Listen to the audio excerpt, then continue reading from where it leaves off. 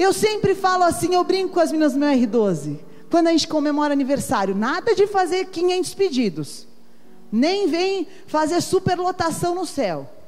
Um sonho por ano, tá bom demais.